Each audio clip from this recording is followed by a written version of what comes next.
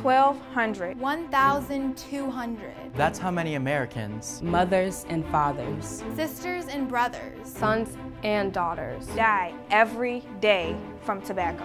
Big Tobacco spends over $1 million. $1 million every hour. $10 billion a year. On finding replacements. $10 billion a year. To go after us. To make us their replacement. So the next time you're in a convenience store, or when you read a magazine, or wherever you see this, these, remember, beneath the pretty colors, refreshing fruit flavor, and exciting name, is Big Tobacco. He needs you to try this. Try this. Needs you to try these. Nah, not to try it. Needs you to crave it. Crave it. Need it. Be addicted to it. Because with over 400,000.